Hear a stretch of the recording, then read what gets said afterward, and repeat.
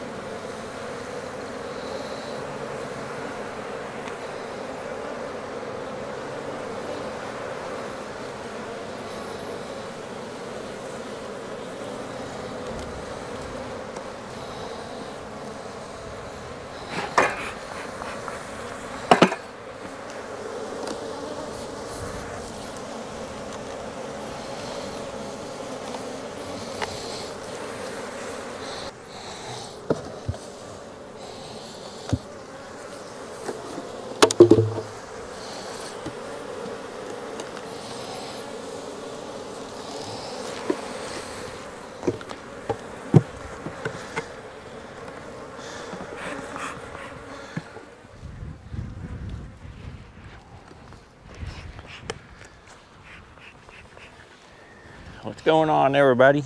Back for another video today. We're out here one of the cotton locations. September 22nd. And we're getting ready to pull this honey off. We're in the middle of the cotton honey harvest right now. Been going through setting boards, taking boxes off, and extracting. We're kind of in the middle of that whole process right now.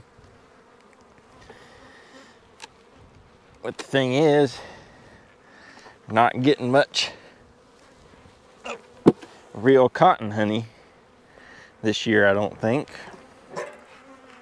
Just the hot and dry conditions and the cotton being so late. You know, I don't know what has happened, but get we're getting a darker honey this year off of the cotton fields. It's usually a real light amber color. This year it's really dark and I'm having trouble figuring out what it might be coming from. My only guess right now is the grain sorghum. You know, sorghum's a type of grass, so you wouldn't think, I never thought it would make any honey. I've done some research on it, or what I call research, just Googling it. You know, most people say no, it doesn't make any honey, but there are a few people out there who say it does make a little, and it does make pollen. The seed heads on it, you know, it has a whole bunch of little florets on there, and they do little bitty flowers just like any kind of grass, and then that turns into a little bitty seed. And there were some pictures that people had of honeybees working those little flowers, getting pollen. And there was one, did see one picture where it looked like a bee was working it for nectar. So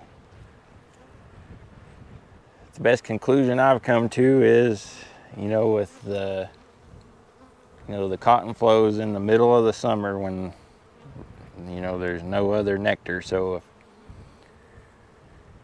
if it's not producing much for whatever reason, you know, the bees are going to move down to something that's to them maybe a little less desirable, but it's still going to produce. So that's my only guesstimate. And this year with all the cotton getting rained out in the spring, there is a whole bunch of sorghum around this year. So it's pretty much everywhere. That's another data point that suggests to me that this honey's coming from sorghum, so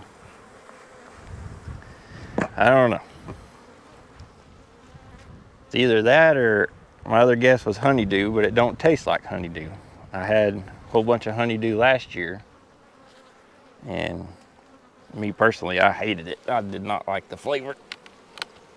But this don't have the same flavor, so I don't know.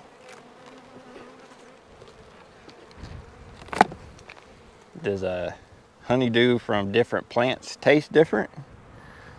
I wouldn't think it would.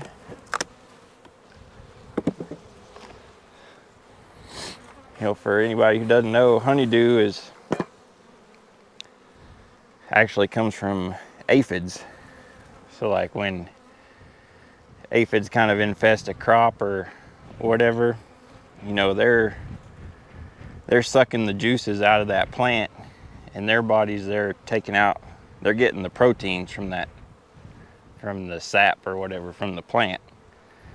And then all the sugars and whatnot they don't use that so they excrete it. And it's left on the plant as kind of like a sticky sugary substance. And when the bees don't have anything else better to get they'll go gather that sticky sugary stuff and bring it back and make honey out of it people call it honeydew so we actually had a whole bunch of that last year like I was saying this don't taste the same this year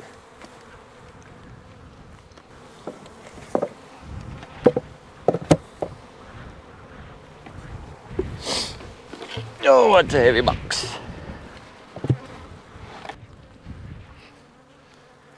I haven't recorded a video in a while. Just been too busy honestly a bunch of days just haven't felt like dealing with it. But trying to get back going here. So one of some of my last videos probably would have been moving bees out to the sunflowers and then I think I gave a sunflower update. I've already pulled the honey off of them and extracted it and everything. And the yields on the sunflower bees were pretty poor. I don't know if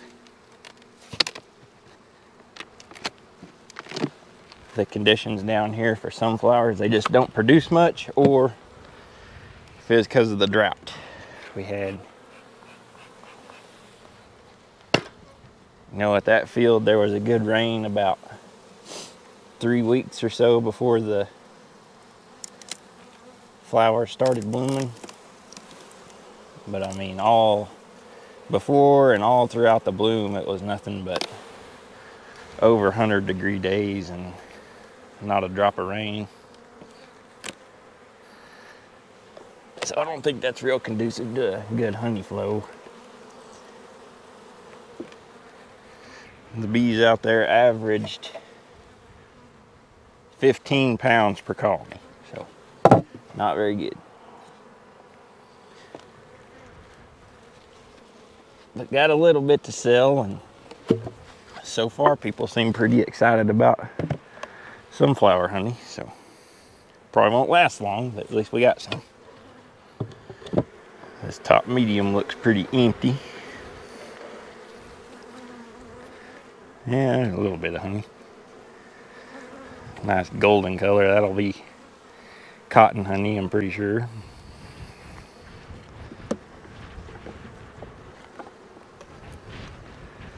A little more there. More here, yeah. So here's a good visual of different honeys. Let me let me show y'all.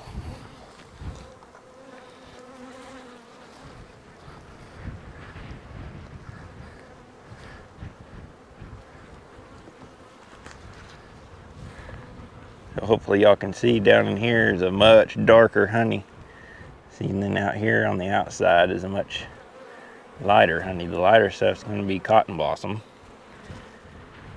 And then this stuff, I don't know. That's what I'm talking about.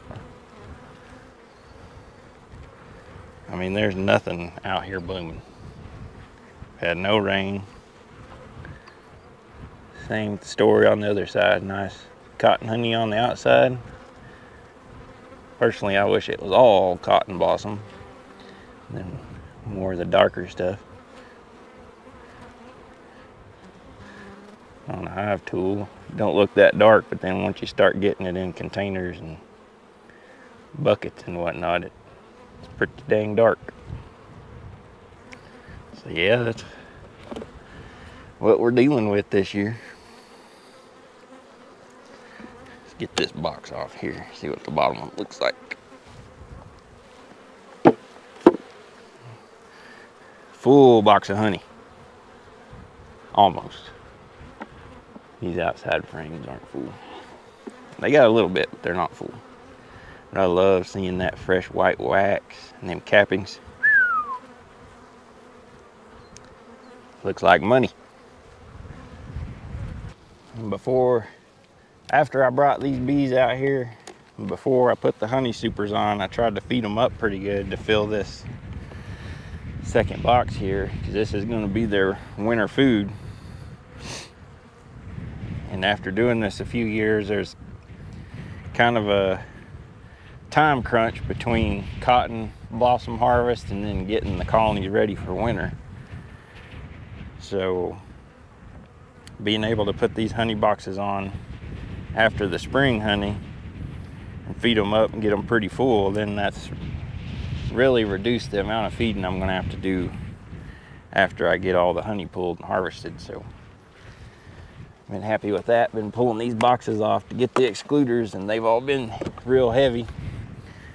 They could all survive the winter right now with what they got, but you know, after I get all the extracting done and everything. I'm gonna be coming back through with mite treatments and while I'm out in the yards doing a mite treatment, I'll probably just give them a couple feeders, one for sure, maybe two feeders full of syrup just for icing on the cake. But they will be good to go for this winter. Well, all the escape boards are set. every single colony here made a good bit of honey, but I didn't have enough boards to put over everybody, so I had to double up four colonies so I'd have enough boards. So I chose the ones with the worst lids to double up. This is by far the best yard I've got this year for honey production um, this is the last yard for me to go through, so I know what all the other ones look like, and they're pretty poor. Not much honey at all. Maybe averaging 10 pounds, maybe.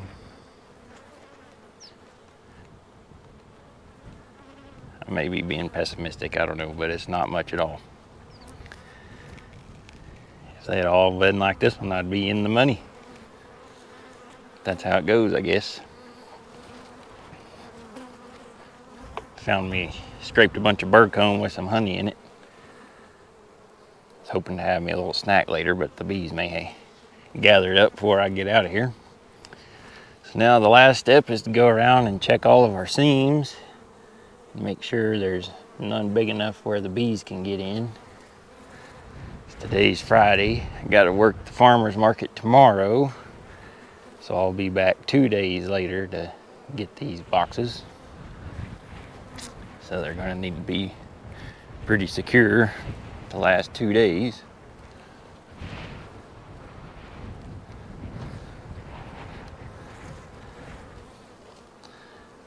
Like this one's gonna need some tape.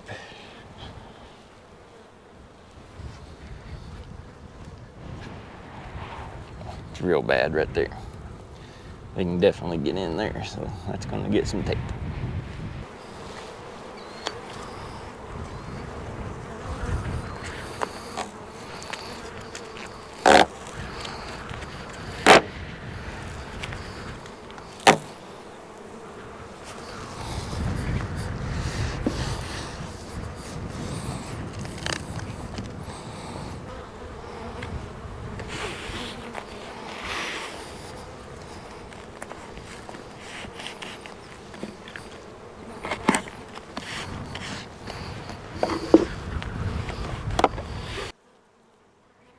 Time to another yard and pull honey where I set boards yesterday. Well, I don't know what's in there, but it's good. I'm gonna miss my pure cotton honey, I guess, but that'll suffice, I suppose.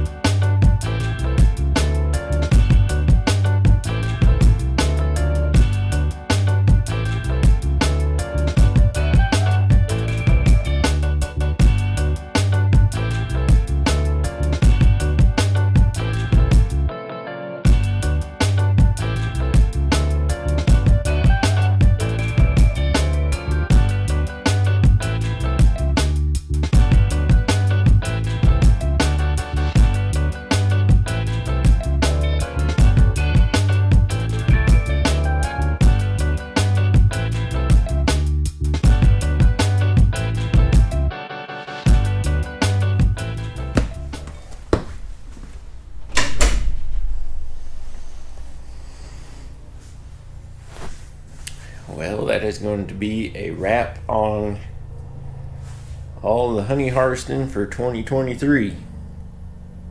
Knocked out all the cotton blossom. That's what we were working on the other day. Got it all knocked out. Had 122 colonies on cotton. So got all the honey stripped off of them yard by yard and extracted and everything. Got the honey room cleaned up. Working on cleaning the equipment. Extractor's nice and shiny again. Uncapping tank's nice and shiny again. Got all the equipment back in here I wasn't using, like the chain uncapper, wax melter, clarifying tank, my table. This small space, I'm always moving stuff in and out of here, depending on what job I got to do. So, getting ready for winter, and this will basically just be a bottling room. So, get all that stuff back in here. Got sunflower honey in there. Had to come up with something new because got two bottling tanks usually have two varieties of honey wildflower and cotton. So this year with sunflower had to come up with something else to bottle out of. Be making some creamed honey in there pretty soon. Yep. Wildflower got plenty of it. Tank's dang near full and I got plenty of buckets in storage. And the cotton, kind of sad. That's all we made. Bottled a little bit out of there, as you can see the foam line, but that's it for pure cotton blossom. Pretty sad. yields were pretty poor this year. I don't know why.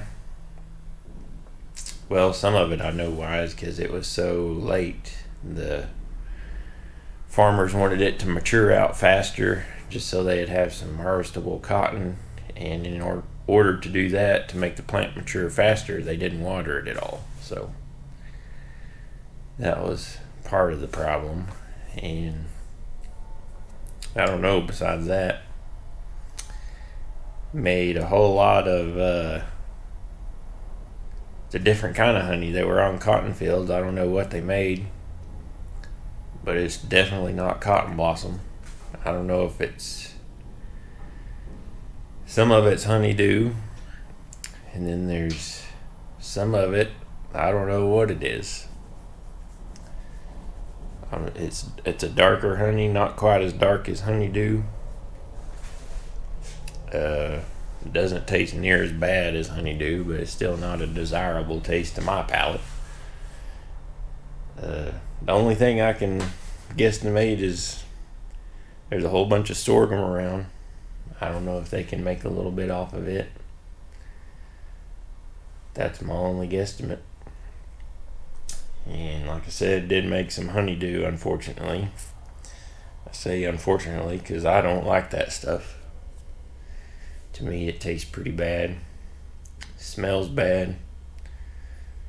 To me, it smells like dirty socks or something. My wife said she thinks it smells like wet dog. So, yeah, nothing good. the taste is terrible. To me, it kind of tastes like what burnt rubber smells like. So, I don't know. It's not good. If any of y'all out there like honeydew, let me know. Or if y'all know of a way to market it, or a good way to sell it, you know, a good channel to sell it through. I don't know. Thinking maybe like a a beer brewer maybe to make mead. I don't know, or a bakery maybe. Because if you use it in baking, you're gonna heat it up, and you know it's going into a food, so it's you're not gonna have that flavor to deal with. I don't think. I don't know. Y'all let me know if y'all got any ideas. Do have some honey balled it up over here, y'all. I'll show y'all the difference in color.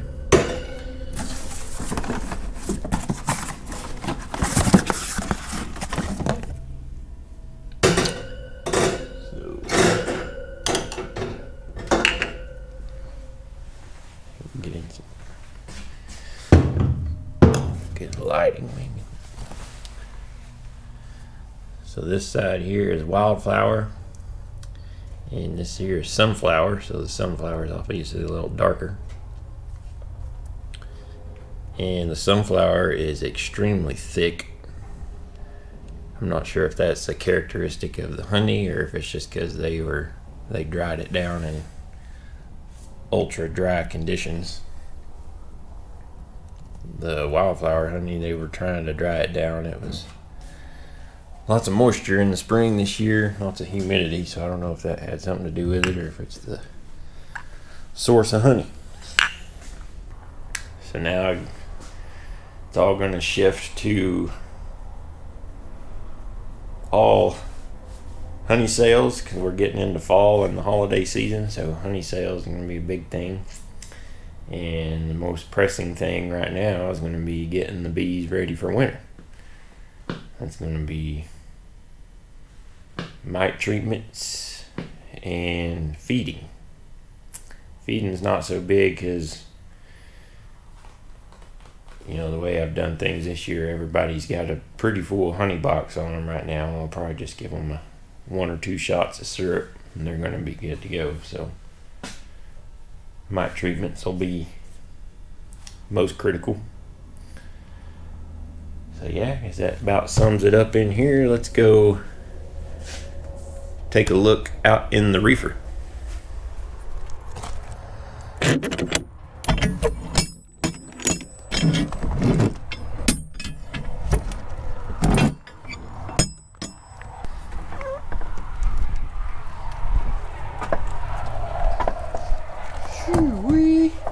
It is cold in here.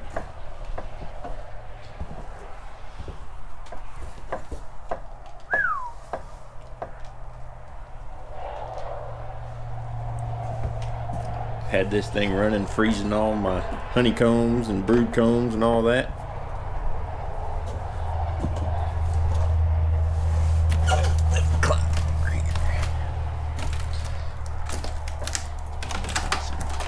Leftover pollen patties down here.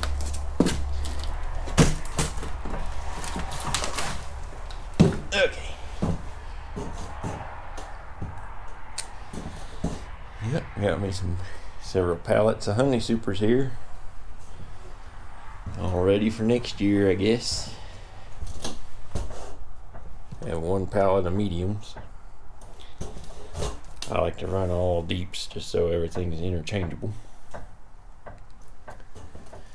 And if y'all saw video I made earlier this year when I got this whole reefer container, I showed everything that was in here and I mentioned it all needed going through and sorting and everything. Well, I've got that done finally. Like I said it needed cleaned.